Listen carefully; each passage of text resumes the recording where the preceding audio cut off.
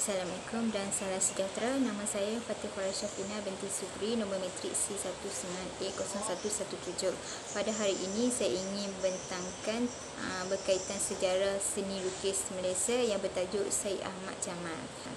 Datuk Syed Ahmad bin uh, Syed Jamal uh, merupakan pelukis tersohor di Malaysia. Beliau ialah um, pemenang Anugerah Seniman Negara Malaysia pada tahun 1995. Beliau dilahirkan pada 19 September 1929 di Bandar Maharani, Johor.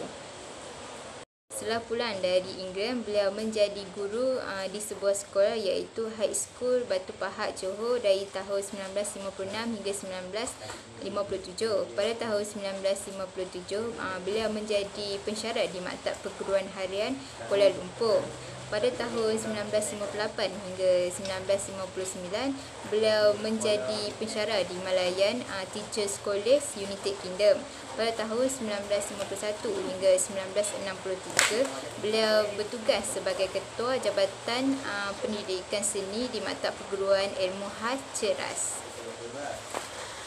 Seterusnya saya akan membentangkan pada bahagian sejarah perkembangan seni Syed Ahmad Jamal. Pada era 1950-an, lukisan-lukisan berwajah berat dan abstrak yang bertujankan unsur tanah air cuba dihasilkan ketika masih menuntut di London. Perubahan awal menggunakan kaedah tersebut melihatkan kejayaan awalnya apabila berjaya menghasilkan sebuah karya yang bertajuk Mandi Laut iaitu pada tahun 1957. Pada era, era 1960-an, uh, memperlihatkan dia wajah menerusi genjara abstrak ekspresionistik. Karya-karyanya mula menampilkan imej-imej abstrak dalam latar budaya tempatan. Pada era 1970-an, ah, menampilkan karya-karya kreatif dan memperlihatkan transisi dalam kebebasan berkarya. Beliau juga mula menonjolkan imej dan simbol dari alam dan budaya Melayu dengan lebih ketara. Walaupun mendapat pendidikan barat dalam bidang seni halus, namun seniman Syed Ahmad Jamal tetap mengkagumi akan tradisi budaya Melayu.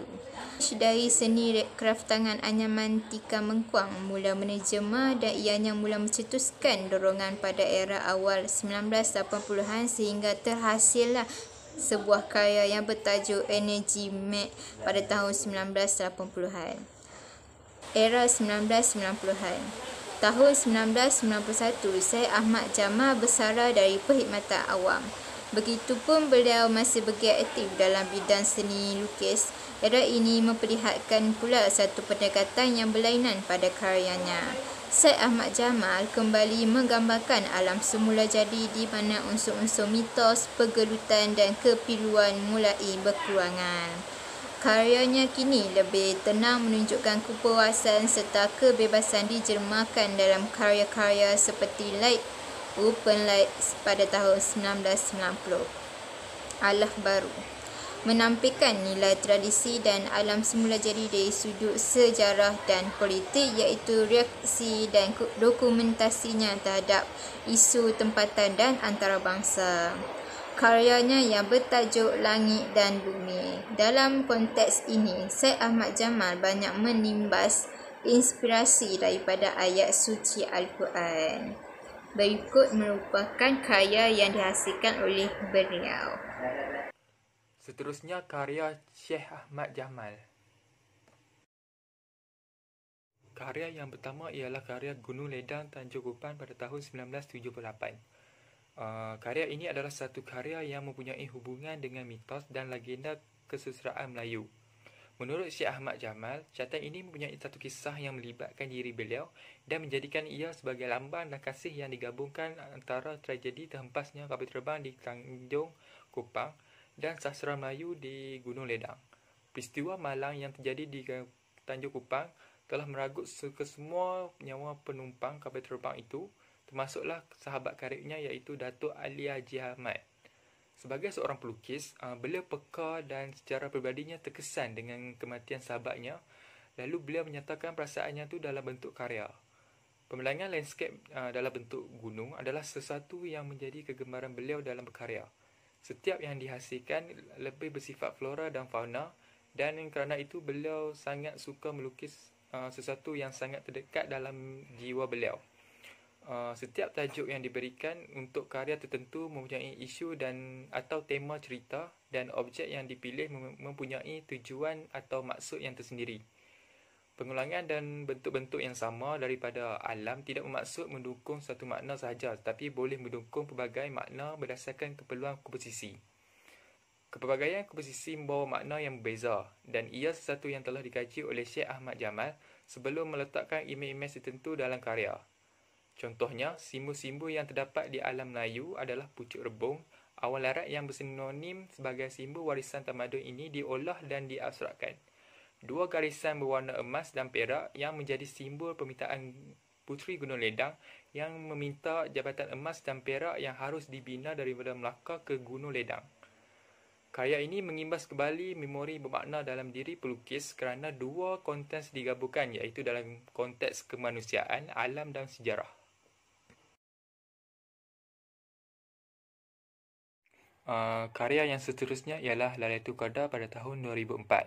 Uh, seperti yang kita tahu, malam Lailatul Qadar ini adalah hadiah uh, Allah uh, kepada umat Islam uh, dan ia adalah malam yang mempunyai kedudukan yang tertinggi dalam bulan Ramadan. Catatan ini dihasilkan dengan kesan-kesan yang penuh misteri seperti cahaya berwarna merah, oranye, kuning dan hijau dengan sapuan uh, berus yang ekspresif uh, memperlihatkan rahmat-rahmat Allah yang begitu banyak diturunkan pada malam itu dan menggambarkan uh, keistimewaannya berbanding malam-malam yang lain. Uh, catatan yang dilukis dengan gaya abstrak ekspresionis uh, dihasilkan dengan rujukan Al-Quran dan diterjemahkan dalam bentuk karya seni yang memberi impak kepada khalayak dan juga diri beliau dalam mendekatkan diri dengan Tuhan. Adalah senyuman yang dilukis pada tahun 2009. Beliau menggunakan huruf Jawi yang mendukung makna senyuman. Min yang berada pada catatan senyuman pula membawa makna yang berbeza. Ia adalah satu pelengkap bagi menyempurnakan tulisan yang membentuk senyuman itu. Dari sudut formalistik, catatan senyuman menggunakan warna-warna ceria dan segar uh, yang memenuhi uh, rupa bentuk dan latar pada komposisi seperti biru, hijau, ungu dan merah jambu yang diolah dengan bentuk-bentuk bujur menerusi garisan-garisan yang membentuk huruf jawi tersebut. Dalam hal ini, khat jawi digunakan sebagai representasi untuk mencapai tahap mujarab yang tinggi kerana hakikatnya senyuman itu bersifat mujarab dan penuh rahsia bagi siapa yang mengetahuinya. Assalamualaikum warahmatullahi taala wabarakatuh. Saya Muhammad Afiq bin Muhammad Azhar, nombor matrik C19A0270. Okey, saya akan membentangkan uh, bahagian saya iaitu sumbangan Syekh Ahmad Jamal kepada sejarah seni lukis moden Malaysia. Poin yang pertama adalah beliau merupakan pelopor aliran seni ekspresionisme abstrak di Malaysia.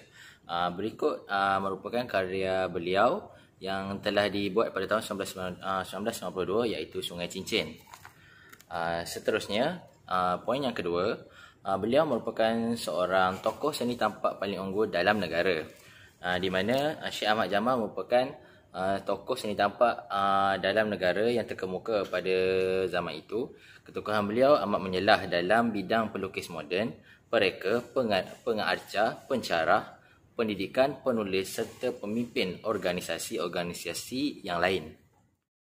Uh, poin yang ketiga, uh, Syekh Ahmad Jamal merupakan seorang penulis. Beliau telah menghasilkan sebuah buku yang bertajuk Rupa dan Jiwa pada tahun 1992, terbitan Dewan Bahasa dan Pustaka. Di dalam bukunya, beliau telah melukiskan pengamatannya terhadap unsur-unsur seni dalam nilai-nilai dan kebudayaan Melayu. Baiklah, poin yang keempat, uh, pada tahun 1960-an, uh, beliau mempelopori Wednesday Art Group dan Art Council Malaysia.